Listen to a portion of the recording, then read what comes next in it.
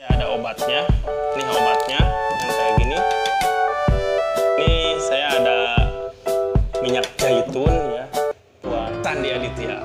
Di video kali ini gua akan coba ngasih tahu ke teman-teman ya apa namanya ngobatin tetol tetelo torticolis ya torticolis ya gejalanya yang kayak gini-gini nih gua punya ayam sakit itu gua coba obatin dan sembuh ya oke. Tapi sebelum itu teman-teman di sini ayamnya ya udah ada.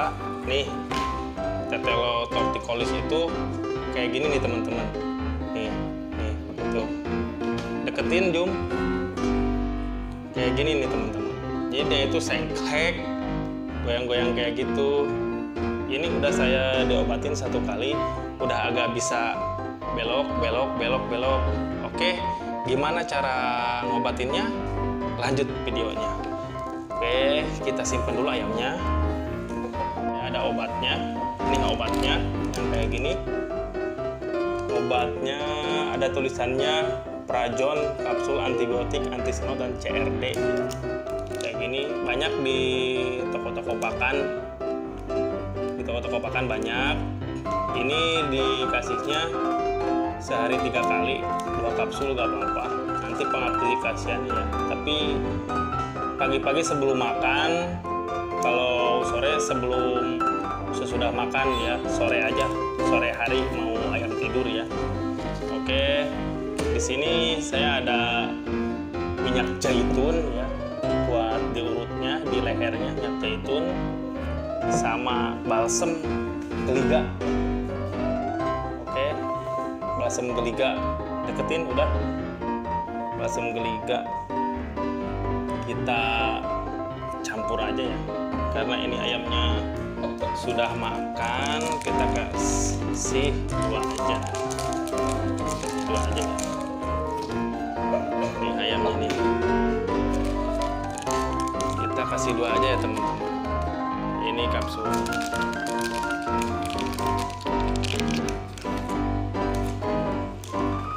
dikasih dua cukuplah buat teman-teman. Kalau punya gejala ayam kayak gini jangan dipotong. Sayang ya. Saya soalnya ini nggak menular ke teman-temannya. Kalau tetelo torticollis itu dia nggak menular ke teman-temannya tapi dia kayak yang sedeng gitu. Kalau teman-teman mau nyembuhinnya alangkah baiknya ayamnya diumbar ya. Ini kapsulnya tuh teman-teman alangkah baiknya ayamnya diumbar. Terus yang kedua kita ada di sini pengaplikasiannya ya. Ini minyak zaitun ya. Minyak zaitun minyak zaitun kita ngurut aja lah. Karena ngurut orang nggak bisa jadi kita bisanya ngurut ayam.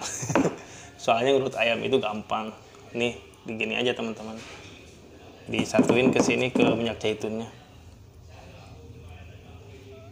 nih.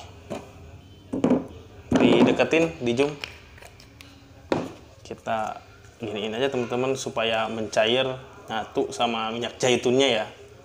Karena ini obat minyak zaitun tuh. Teman-teman lihat. Nih biar dia nyampur larut sama minyak zaitunnya ya. Oke tahap kedua ya. Sekarang kita tinggal ini ayamnya ya. Oke udah beres. Oke jangan bosan teman-teman. Panteng terus ya video saya. Nih teman-teman. Ini sebenarnya ada benjolan di sini tuh. Kalau tetelo torticollis itu kayak gini karena ini ayam antibodinya udah kuat jadi dia nggak keserang kayak tetelo lumpuh kayak gimana tapi ininya nih teman-teman. Jangan salah ya yang diusap itu kulitnya bukan bulu ayamnya tapi kulitnya teman-teman. Tuh dia sakit teman-teman tuh. Kulitnya ya teman-teman. Oke kita sisil disisil istilahnya sisil kulitnya tuh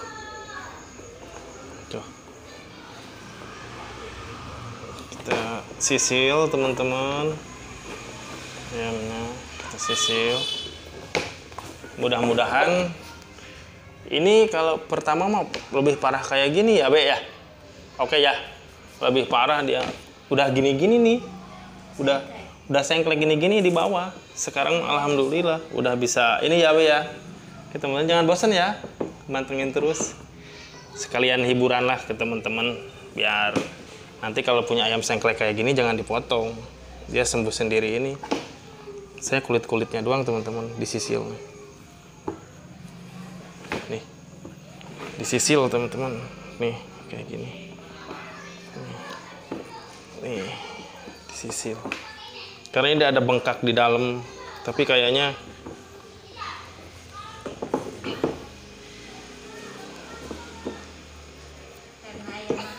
karena ini ayamnya lumayan mahal. Lumayan lah buat ukuran saya mah. Saya orang nggak punya. Udah lumayan lah harga segitu mah. Jadi saya obatin. Sebenarnya ini divaksin udah divaksin ini. Tapi ya vaksinnya juga jebol kali. Disisir terus tuh, teman-teman. Tuh. kulit-kulitnya